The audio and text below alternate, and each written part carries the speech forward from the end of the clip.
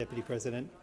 The Sikh community is reeling because their leaders are being targeted for political assassinations. Just a few short days ago, the US Justice Department announced that an Indian government official had directed the attempted assassination of a Sikh community leader on US soil. This follows the murder of Sikh leader Hardeep Singh Nijjar in British Columbia, again directed by an Indian government official. These actions show how far to the extreme the BJP government in India has lurched. If the BJP administration is actively plotting to kill political opponents in the US and Canada, just imagine what's happening in India itself.